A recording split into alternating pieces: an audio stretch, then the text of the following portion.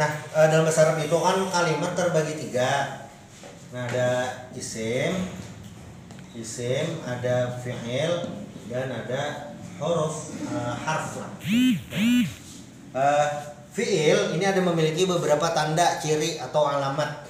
Satu cirinya adalah bisa dimasuki atau diletakkan kod yang kedua bisa diletakkan sebelum itu huruf sin. Lalu yang ketiga bisa e, dimasuki saufa. Saufa. Lalu yang keempat adalah tak taknis. Nah,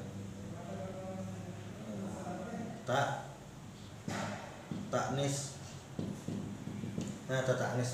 Nah kod ini misalnya contoh misalnya kayak di Al-Quran kod sami Allah.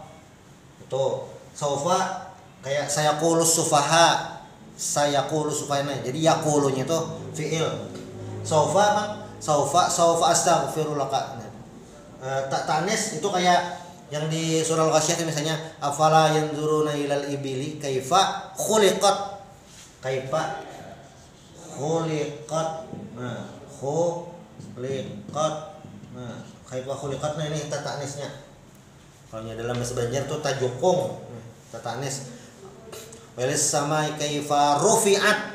Rufiat itu fiil karena ada tatanis uh, wa ilal jibali kaifa nusibat itu fiil. Wa ilal ardi kaifa sutihat itu juga fiil. Nah itu adalah tanda-tanda fiil. Bagaimana kita mengenal fiil